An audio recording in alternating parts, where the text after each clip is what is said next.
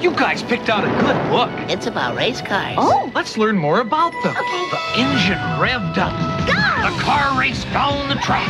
Into the first turn. Uh-oh. Speed reading. Whoa!